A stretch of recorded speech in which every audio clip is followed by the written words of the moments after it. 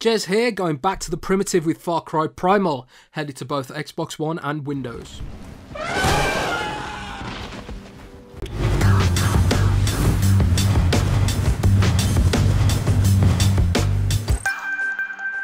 Far Cry Primal takes the popular first person series all the way back to the Mesolithic Stone Age, ditching AK 47s for bone clubs and sniper rifles for wooden bows.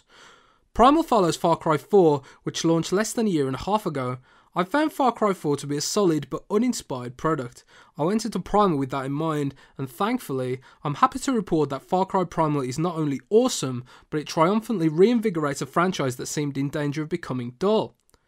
Far Cry Primal takes place some 12,000 years ago in a prehistoric Eastern Europe. It follows the exploits of Takkar, a young Wenja warrior with a talent for leadership, beast taming, and brutal combat. The land of Oros, constructed for Primal, is absolutely stunning.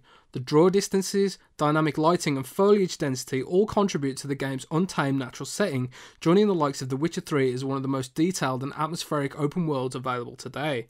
To create an authentic Stone Age experience, Ubisoft spoke to linguists to construct an ancient language for the game's inhabitants. Considering the entire plot is delivered via subtitles and evocative motion capture, the fact that Primal has some of the most memorable characters and most engaging Ubisoft plots to date truly shows the studio at their best.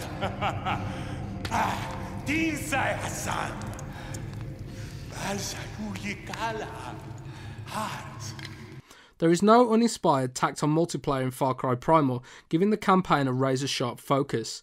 As you progress through the game's non-linear character story chains, Takkar's Wenja tribe grows in size and prosperity. As your settlement grows, so does your arsenal of primitive weapons and tools. Despite the absence of modern technology, Primal's weapons are surprisingly diverse and a whole lot of fun to wield.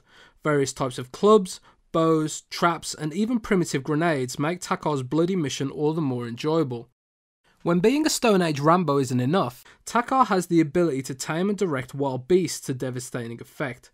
Some can also be ridden into battle, which not only helps you lay waste to the savage tribes who want to eradicate the Wenja, but also aids traversing the game's gargantuan map.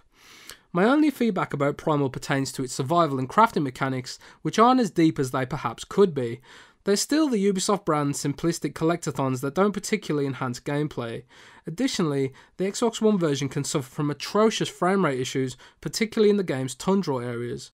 The truth is, there was little to find to complain about in Far Cry Primal. The story and characters are complex and intriguing, the setting is as beautiful as it is fresh, and the combat is satisfying and visceral. At 12 hours in, I had only covered about a third of the map, and that's while skipping the vast majority of the game's dynamic events and side missions.